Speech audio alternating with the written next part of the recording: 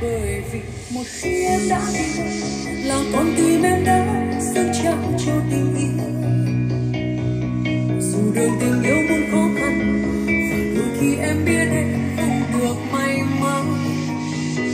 Chẳng cần bận tâm hay những gì, mình hy sinh cho ai đó sẽ được những gì đã yêu nhau. Thì cứ yêu đi, sẽ cho ta ngày tháng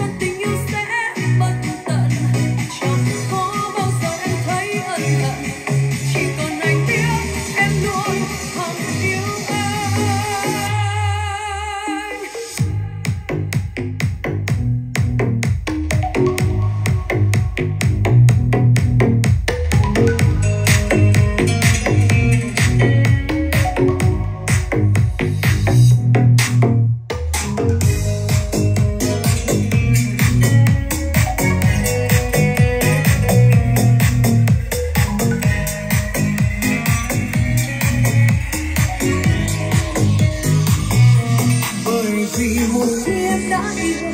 Là con tim em đã dâng trao cho tình yêu.